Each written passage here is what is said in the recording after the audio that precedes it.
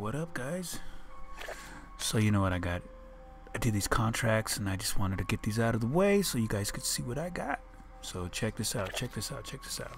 Do these like uh four free supply drops and see what I get. Oh look at that. That's what you get for free. So that's why it's always good to do these. I mean free ones are always best. Eh, Banshee already got that one, so whatever. Nothing good, nothing good. What's next? Salvage is always nice. I got like 4,030 something, I think. I don't even know. But whatever, whatever. Eh, nothing there, so it's like whatever. So, anyways, let's just get this out of the way. Uh, we'll do the accessory right quick. Oh, yeah. Epic mamas. Who don't like those, right? And then, uh, of course, it's going to give you one, two, and three. So we'll do that. Check to see what we get.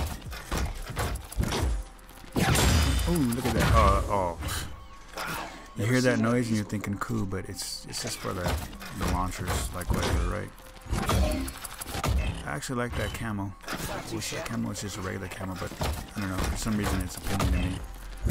Oh no, the Wasteland. Uh, I already got that R3K. So, there you go pretty much that's it got this out of the way so if you want to check this out so there you go guys subscribe and like comment let me know what you think.